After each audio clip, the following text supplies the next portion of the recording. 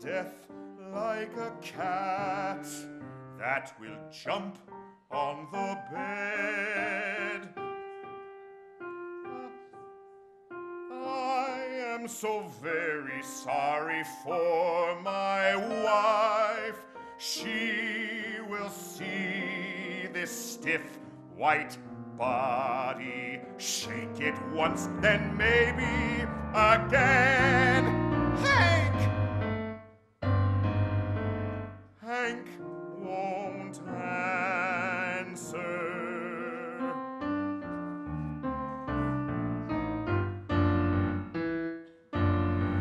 It's not my death that worries me. It's my wife left with this pile of nothing.